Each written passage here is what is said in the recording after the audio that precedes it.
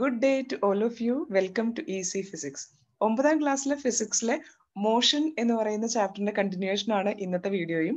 കഴിഞ്ഞ വീഡിയോയിലൂടെ നമ്മൾ വെലോസിറ്റി ടൈം ഗ്രാഫിന് എങ്ങനെയാണ് first equation of motion derive ചെയ്യാന്ന് പഠിച്ചു.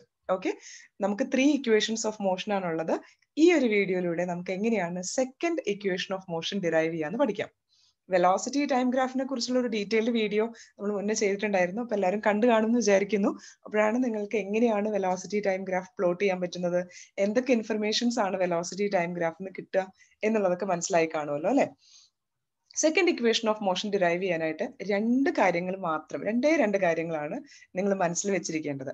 ഒന്നാമത്തെ കാര്യം area under velocity time graph will give you displacement or distance travelled by the object okay ഇതാണ് ആദ്യം നിങ്ങളുടെ മനസ്സിലുണ്ടായിരിക്കേണ്ട കാര്യം. നമ്മൾക്ക് വെലോസിറ്റി ടൈം ഗ്രാഫ് വരച്ചിട്ട് അതിന് താഴെയുള്ള ഏരിയ കണ്ടുപിടിച്ചു കഴിഞ്ഞാൽ ഡിസ്പ്ലേസ്മെന്റ് അല്ലെങ്കിൽ ഡിസ്റ്റൻസ് കണ്ടുപിടിക്കാൻ പറ്റും. രണ്ടാമത്തത് ഒരു മാത്സ് ഫോമുലയാണ് നിങ്ങൾ മാത്സിൽ പഠിച്ചിട്ടുള്ള ഫോമുല തന്നെയാണ്. എന്നാലും നിങ്ങളുടെ മനസ്സിലൊന്ന് ഓർത്തിരിക്കാൻ വേണ്ടി ഞാൻ ഇവിടെ ഒന്ന് പറയാം. ഏരിയ ഓഫ് ട്രപ്പീസിയം നമ്മൾ പല ഷേപ്പിലുള്ള ഒബ്ജക്ട്സിന്റെ ഏരിയാസ് മാത്സിൽ പഠിച്ചിട്ടുണ്ട് അല്ലെ? ട്രപ്പീസിയത്തിന്റെ ഏരിയയുടെ ഫോമുല എന്താണ്? Half into H into A plus B അതായത് ഒരു ട്രപ്പീസിയം നമുക്ക് ഇങ്ങനെ ഒരു ട്രപ്പീസിയം വരച്ചു കഴിഞ്ഞാൽ നമുക്കറിയാം അതിന് രണ്ട് പാരലൽ സൈഡ്സ് ഉണ്ട്.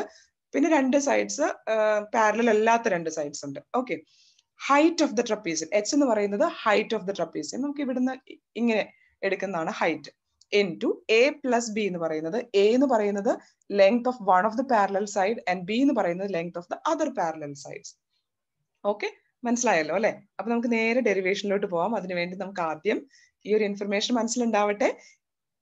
Area under V T graph will give you the displacement or the distance travelled ഇവിടെ കാണിച്ചിരിക്കുന്നത് ഒരു യൂണിഫോമിലി ആക്സിലറേറ്റഡ് മോഷനിലുള്ള വസ്തുവിന്റെ വെലോസിറ്റി ടൈം ഗ്രാഫ് ആണ്. നമുക്കറിയാം വെലോസിറ്റി വൈ ആക്സിസിലും ടൈം എക്സ് ആക്സിസിലുമാണ് എടുക്കേണ്ടത്. ഇതിന് താഴെ ഞാൻ ഷെയ്ഡ് ചെയ്തിരിക്കുന്ന ഏരിയ കണ്ടുപിടിച്ചു കഴിഞ്ഞാൽ നമുക്ക് ഡിസ്റ്റൻസ് ആയി. ഓക്കെ ഇവിടെ ഈ ഷെയ്ഡഡ് പോർഷൻ കണ്ടാൽ തന്നെ അറിയാം അതൊരു ട്രപ്പീസിയം ഷേപ്പിലാണ് ഉള്ളത് അല്ലെ? അപ്പോ ഡിസ്പ്ലേസ്മെന്റ് എന്ന് പറയുന്നത് area of the trapezium O A B C O okay അതിന് ഫോർമുല ഞാൻ ഓർമ്മിപ്പിച്ചിരുന്നു. Half into H into A plus B ഇവിടെ എച്ച് എന്ന് പറയുന്നത് ഹൈറ്റ് ഓഫ് ദ ട്രപ്പീസിയം അത് ഒ സി എന്ന് പറയുന്ന ലെങ്ത് ആണ്. പാരലൽ സൈഡ്സ് രണ്ട് പാരലൽ സൈഡ്സ് ഇതാണ് ഒരു പാരലൽ സൈഡ് ഒ എ ഇതാണ് രണ്ടാമത്തെ പാരലൽ സൈഡ് ബി സി അപ്പൊ half into H into A plus B എന്ന് പറയുമ്പോൾ half into O C into O A plus C B എന്ന് എഴുതാം. ഓക്കെ ഇനി ഒ സി എന്താണ്? നമുക്ക് ഗ്രാഫിൽ നിന്ന് തന്നെ അറിയാം. ഒ സി എന്ന് പറയുന്നത് ടി എന്ന് പറയുന്ന മെഷർമെന്റ് ആണ് ടൈം ഒ എ എന്ന് പറയുന്നത് ഇനീഷ്യൽ വെലോസിറ്റി യു അതുപോലെ സി ബി എന്ന് പറയുന്നത് final velocity B half into T into U plus B എന്ന് നമുക്ക് ഇതിനെ മാറ്റി എഴുതാം. ഇനി ഒരു കാര്യം ഇവിടെ മാറ്റാൻ പോകുന്നത്. നമ്മൾ ഫസ്റ്റ് ഇക്വേഷൻ ഓഫ് മോഷൻ കഴിഞ്ഞ വീഡിയോയിലൂടെ പഠിച്ചിരുന്നു. എന്താണ് first equation of motion V is equal to U plus A T അപ്പോൾ ഇവിടെ വി എന്ന് പറയുന്ന ക്വാണ്ടിറ്റി വി എന്ന് പറയുന്ന ഫൈനൽ വെലോസിറ്റി ആണ്. അതിന് പകരം നമുക്ക് ഫസ്റ്റ് ഇക്വേഷൻ ഓഫ് മോഷൻ എന്ന് കിട്ടിയ വാല്യൂ ഒന്ന് സബ്സ്റ്റിറ്റ്യൂട്ട് ചെയ്ത് നോക്കാം. അപ്പൊ എന്താ എഴുതാൻ പറ്റുന്നത്? S equal to half into T into U plus U വരെ ഇതുവരെ നമ്മൾ ഇതേ ഫോമുല തന്നെ എഴുതി വിക്ക് പകരം നമ്മൾ first equation of motion U plus A T substitute ചെയ്തു. അപ്പൊ ഇവിടെ രണ്ട് യു ഉണ്ട് അല്ലെ? യു പ്ലസ് യുവിനെ നമുക്ക് ടു യു എന്ന് എഴുതാമല്ലോ. ഒന്ന് മാറ്റി എഴുതുമ്പോൾ half into two U into T അതായത് ഈ ടീന് ഞാൻ ബ്രാക്കറ്റിനകത്തോട്ട് എടുത്ത് മൾട്ടിപ്ലൈ ചെയ്യുവാണേ. അപ്പൊ two U into T plus A T square എന്ന് എഴുതി. ഇനി ഈ ഹാഫിനെയും ഞാൻ ഈ ബ്രാക്കറ്റിനകത്തോട്ട് എടുത്ത് ഒന്ന് മൾട്ടിപ്ലൈ ചെയ്യുവാണ്. ഹാഫ് ഇന്റു ടു എന്ന് പറയുമ്പോൾ ആ ടുവും ഹാഫും ക്യാൻസൽ ആയി പോവും. സെക്കൻഡ് ടേമിൽ half into A T square എന്ന് വരും. അപ്പൊ നമ്മളുടെ ആൻസർ ആയി. സെക്കൻഡ് ഇക്വേഷൻ ഓഫ് മോഷനിൽ എത്തി നമ്മൾ S equal to U T plus half A T square വളരെ സിമ്പിൾ ആയിട്ട് ചെയ്യാൻ പറ്റുന്നതാണ്.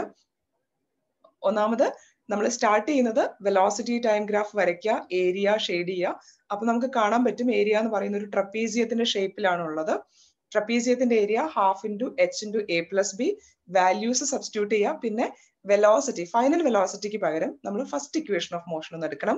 യു പ്ലസ് എ ടി ഇനി ആ ബ്രാക്കറ്റ്സ് ഒക്കെ ഓപ്പൺ ചെയ്ത് കോമൺ ഫാക്ടേഴ്സ് ഒക്കെ മൾട്ടിപ്ലൈ ചെയ്ത് കഴിഞ്ഞാൽ നമ്മളുടെ ഫൈനൽ ആൻസർ ആയി S equal to U T plus half A T square ഇതാണ് സെക്കൻഡ് ഇക്വേഷൻ ഓഫ് മോഷൻ നമുക്ക് നോക്കിയാൽ അറിയാം സെക്കൻഡ് ഇക്വേഷൻ ഓഫ് മോഷനിൽ ഡിസ്പ്ലേസ്മെന്റും ടൈമും തമ്മിലുള്ള ഒരു റിലേഷൻ ആണ്. അതുകൊണ്ട് തന്നെ ഞാൻ പറഞ്ഞിരുന്നു ഫസ്റ്റ് ഇക്വേഷൻ ഓഫ് മോഷനെ വെലോസിറ്റി ടൈം റിലേഷൻഷിപ്പ് എന്ന് വിളിക്കാറുണ്ട്.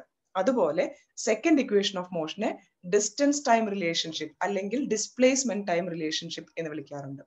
അപ്പൊ എല്ലാവർക്കും സെക്കൻഡ് ഇക്വേഷൻ ഓഫ് മോഷന്റെ ഡെറിവേഷൻ കൃത്യമായിട്ട് മനസ്സിലായി കാണുമെന്ന് വിചാരിക്കുന്നു. Thank you for watching. Have a wonderful day ahead to all of you.